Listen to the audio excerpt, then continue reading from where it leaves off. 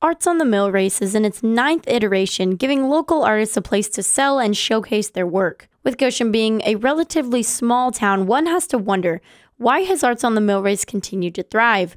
Adrienne Nesbitt, the festival director, credits the art driven community. Yeah, I think Goshen, you know, whether it's art or music or other parts of um, curating culture, um, Goshen's always been really great at that. Even from a young age, our schools do a good job of, of nurturing that love of art. This idea of the culture and the community of Goshen was carried amongst many of the artists.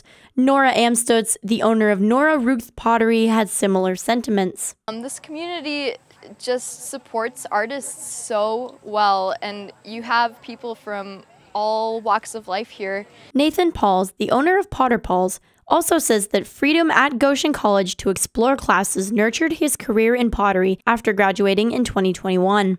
Goshen has a really good way of letting you kind of get into classes that aren't like maybe within your major. So I started out as a communication major, um, then I took a couple art classes, which got me into ceramics, which, you know, fast forward two, three years, and now I'm here actually selling pots. Jesse Amstutz, the owner of Jesse Amstutz Studio, had a very similar experience. I, I think, yeah, Goshen, the education I had at Goshen College helped me be able to explore a bunch of different things and, yeah, dip my toes in a bunch of different waters. The community encouraged many graduates like Pauls to remain in the area even after graduation. So something that I've noticed, I mean, just from talking to people, it's actually the reason I stayed in Goshen after grad because I'm not from the area, but it's because of at least the pottery community and also the art community is very strong. Reporting for Globe News, I'm Alyssa McDonald.